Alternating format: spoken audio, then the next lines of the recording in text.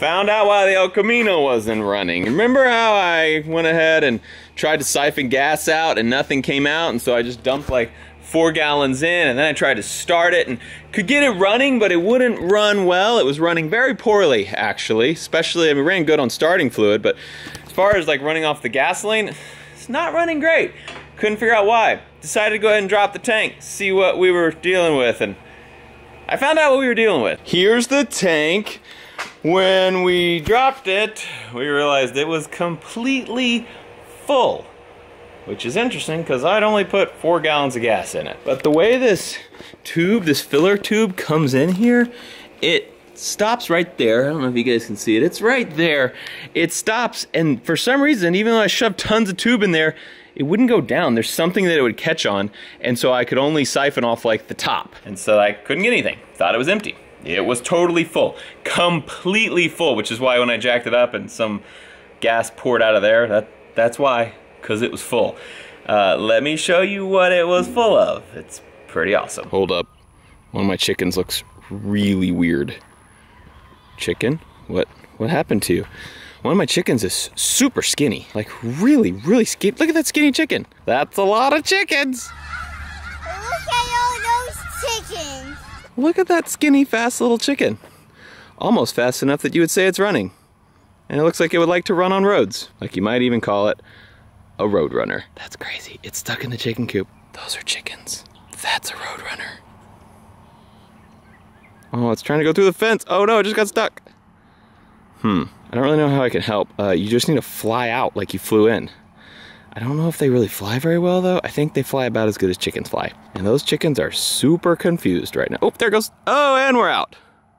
Problem solved. That was a roadrunner. They are actually the state bird of Texas and we see them quite often and it's good luck when one runs in front of you. So, congratulations guys, you and me, we're gonna have some good luck today. This is what was in the El Camino. Wine. oh, it's so gross and red. Oh, splashing too. Ugh, so gross. It's totally eating the uh, sealer on this thing too. I dumped in this bucket because I was like, I don't know what else to do with this old gasoline, but that's why it wasn't running. It had a, I didn't know this, I thought it had an empty tank and I put four gallons of new gas in.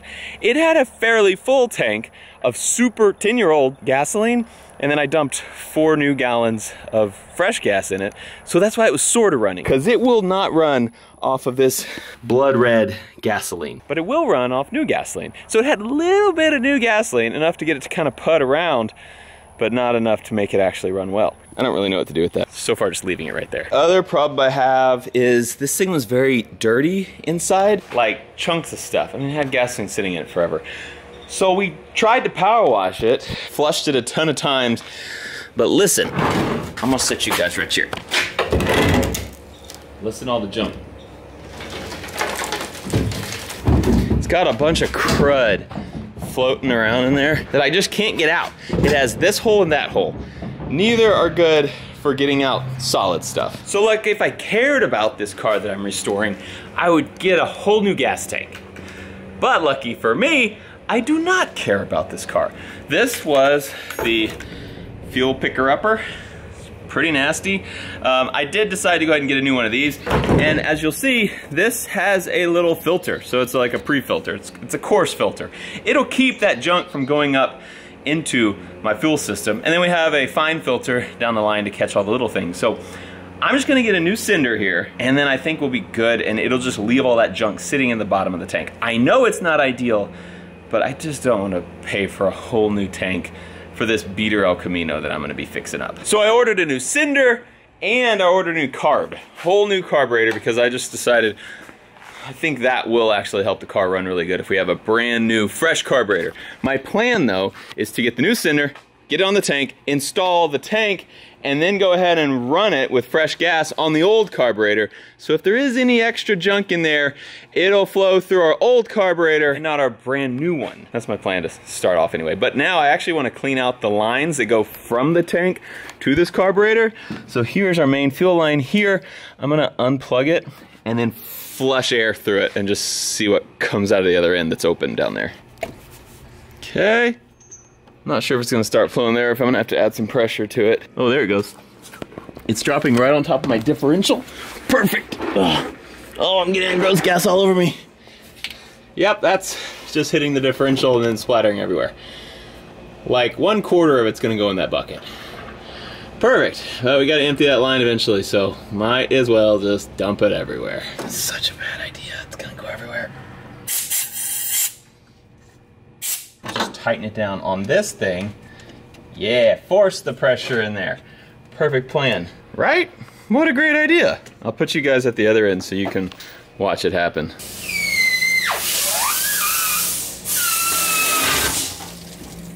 I'm a mechanic, easy as that.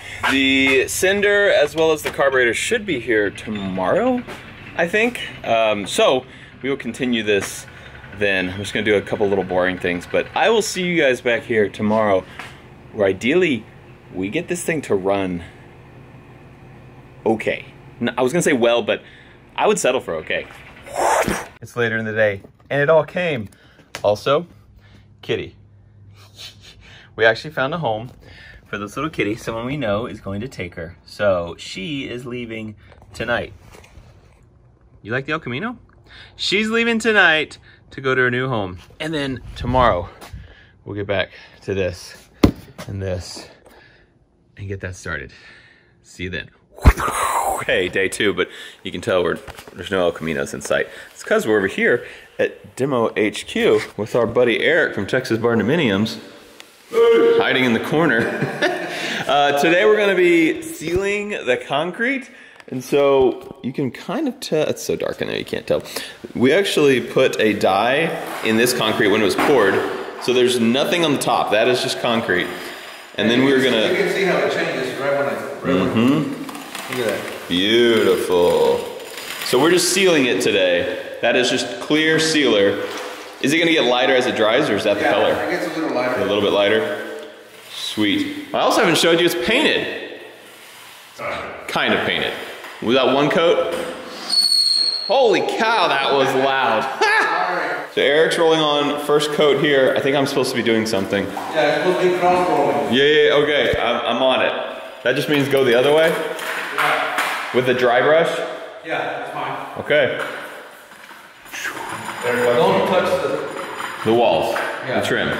Got it. How am I doing? So far, so good. You know, I've actually done this before. My wife and I, we stained the concrete in our house one time. It lasted about a year and then it started peeling up, so I'm pretty good at it. Ooh, it's looking good. See how the color just pops? Yeah, so nice. So pretty, so pretty. I like it. And those stripes will disappear, right? Yep. That's cool. It just kind of has it, how it soaks into the concrete. Yeah. Sweet. How shiny will it be? It's gonna be very shiny. Really? High gloss. Cool. Easy to clean. Oh, super easy. So Erik was asking me about when I sealed concrete. We did it at our first house. Um, and we used just a, would you call it single stage? Single? Single part. Single part. Single part and two part. Are two So part. we just bought something at the store that said it was floor sealer, but it was single part. We didn't mix it. This one, they actually mixed two parts together. Um, and I guess they activate each other. Yeah. And so that was our problem. We just used a bad product. We did everything right. I mean, I looked up tons of, I mean, I don't know if it was exactly right, but I looked up a lot of stuff, did a lot of research on how to do it all, and we did it all that way, but just started peeling. It looked beautiful for about a year and started peeling terrible. So now I'm learning the correct way to do it, and it's gonna look so good and not peel in a year, right, Erik? Correct. That's what we want. And as you can see, we're also doing the front porch here. Only doing one coat on the front porch because we don't want it to get too slick. When it rains, it could be pretty slippery if you have a big thick coat of sealer, says Erik Cortina. And the inside though, we are doing two coats, make it nice and pretty glossy. This finish though, also on the concrete was made to be rougher. They raked it, right? Is that what you call it? Broom finish. broom finish. Um, so it's got a rougher finish to prevent slipping when it's wet. We're gonna finish this coat on the outside porch and then once that is dry in there, we'll go back in and put another coat in there. Do you let it dry all the way or just get pretty dry? Pretty dry enough to where you can walk on it without leaving marks. Without making sticky marks. Cool. Okay, as you can see, I'm standing on it now. It is still sticky, but not enough that we're messing it up by walking on it. And we're about to do the second coat. We're gonna roll it on. This one will roll on white, and then as it dries, it'll turn clear. And it'll just smooth everything out. You can kind of see some Still some discrepancies there, but once we get another final coat on, it'll smooth everything out. Beautiful. How long does it take this stuff to totally cure? Uh, about 24 hours. Cool. Easy as that. Inside is done, finishing up the porch here, and then we stand back and watch it dry. It's gonna be pretty awesome, guys. Done. Okay, so it's still wet right now. We just kind of kept going until we were off the porch there and we could finish it from the outside. So this is done. You can still see a little bit of white there as it dries. That'll all turn totally clear. El Camino time. I got it all dried out. I just want to like get all the chunks of stuff in there. Cause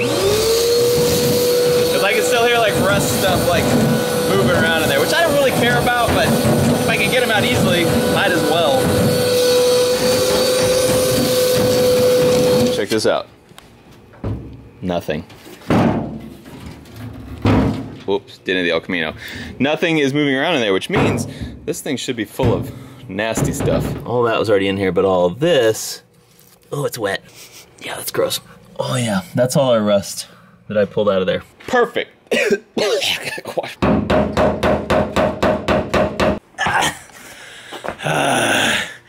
hey, just spent like an hour trying to get that tank back up under the car. And I got it. It's under there.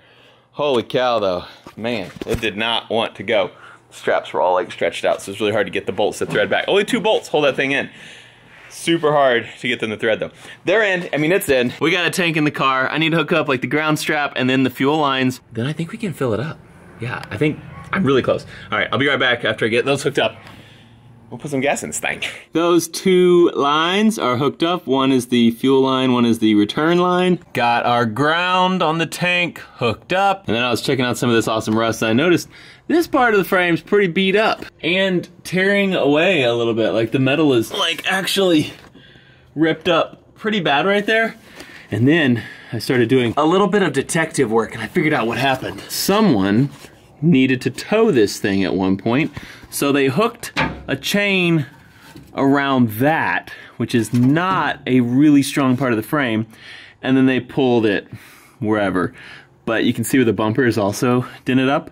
So they had some chain around that, so it was pulling here, dented that, but it also ripped this thing backwards, ripping these welds out. Probably my dad who did that. Just kidding, just kidding. I actually don't think we ever towed this thing from the back. I winched it up to the trailer from the front. Didn't I? Yeah, that might have, that, actually, that, that was me. I'm having to use my little siphon pump to hand pump the gas in there because the way that thing is so inset, so far back in there, makes it to where I can't pour with any of these stupid nozzles. If they just had like a nice big nozzle, I could totally pour, but I'm having to just use a pump and pump it in there by hand. Not a big deal, but I thought I would show you guys who maybe don't know what color gasoline is. I think everybody knows, but no one ever really looks at it as they're pumping in their vehicles. This is the color gasoline should be. Like a nice, clean, like yellow tinged, but nice and clear. Definitely not red. Definitely not wine colored. I just thought you guys might want to know, but yeah, if you let this thing sit for 10 years, it'll turn wine colored. That's how they make wine. I think I got everything ready. So it's probably gonna take a while to like get gas to go up there. But ideally when it does, it actually runs now. Pump that carburetor. Hmm. All right, give that starter a break. Brand new starter. Don't really want to burn it out yet, but give it a little break. My fear is like the fuel pump also might be bad.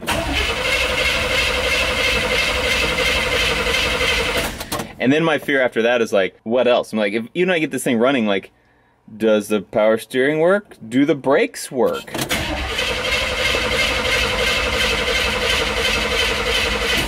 Let's see if we have any gas up there yet. This nice little filter. Mm, no, it looks like nothing in there yet. I could like prime it probably and like prime the whole line, but let's just keep cranking. Hey, Dad. Hey guys. Dad stopped by. He told me to dump some gas down the carb, so we just did that.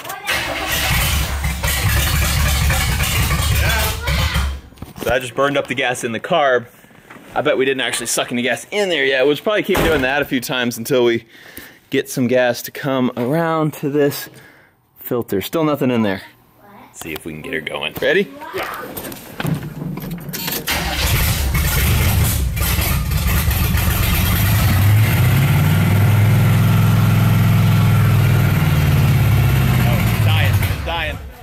Dying. Well, that was the most promising we've had so far.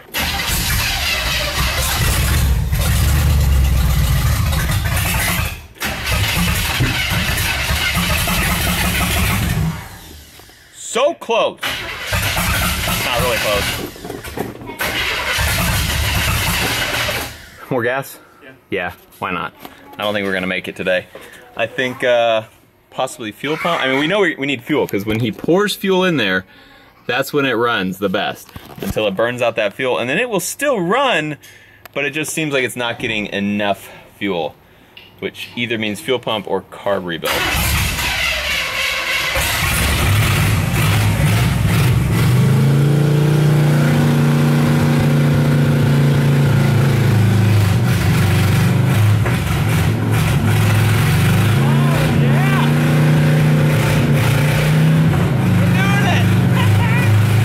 I'm gonna warm it up before I let my foot off the gas. I'm giving it gas right now. We're doing it. All right, we're gonna idle down.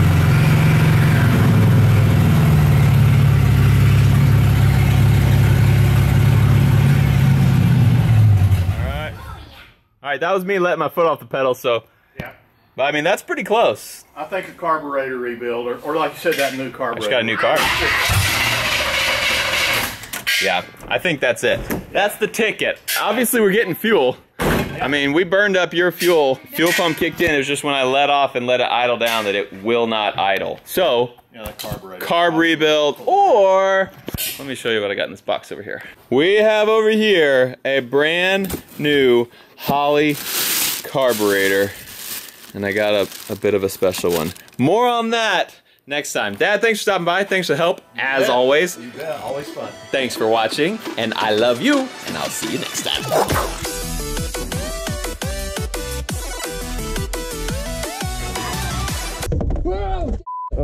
Hey, what camera is that? Number. Shut up! Don't tell Mayor. up!